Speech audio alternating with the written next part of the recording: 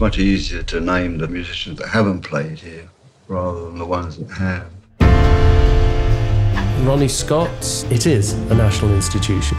You felt that you were in the genuine in crowd of the musical circle of London. Now, Ronnie, you were one of the best tenor sax players in the country. Why did you decide to open a jazz club? And only an idiot would go into, into the jazz club business, let's face it. The difficulty was financial. If we were going to stay open, we'd have to import foreign musicians, Americans in particular. All their great heroes in jazz could all come together in this one place. Meet me at the airport and we go to Ronnie Scott's. That's where I want to go. The club was Ronnie's life. So many people go, but they don't know anything about Ronnie Scott. Everybody followed him. He was the leader.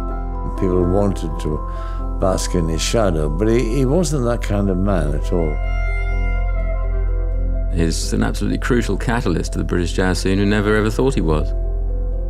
It's not until you gather all the pieces together that you get the full picture of him.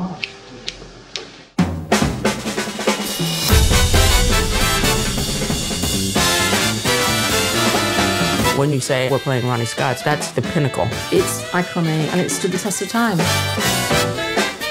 It infects everybody that walks through that door. Right on. You didn't want to miss a note, not one note.